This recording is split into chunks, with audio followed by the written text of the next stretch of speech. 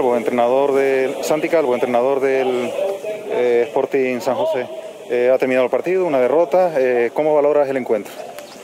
Fue una pena al final porque tuvimos el penalti ese que por lo menos nos hubiera dado el empate, ¿no? Que creo que hubiese sido más justo, ¿no? El partido viene marcado por, por el 0-1 de ellos, nada más empezar, un balón parado, un saque de banda.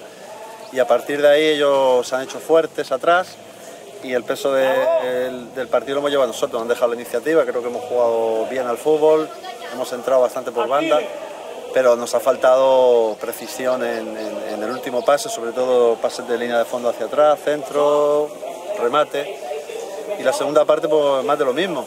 También ya hemos llevado la, iniciativa, incluso hemos neutralizado, no, no veía peligro por las contras de ellos, pero nos ha faltado tener más ocasiones, más un poco más de, fuerza a la hora de, rematar. ¿Qué buscabas con los cambios de Ronald y del Este?